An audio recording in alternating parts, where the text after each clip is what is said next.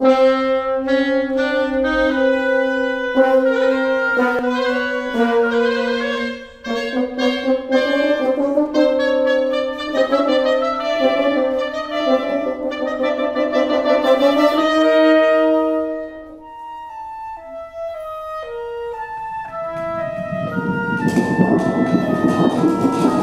ben Zeus, de oppergod, de god van de donder. Tweelingzoons Castor en Pollux willen allebei een held worden. Maar één van hen is goddelijk en de ander is menselijk.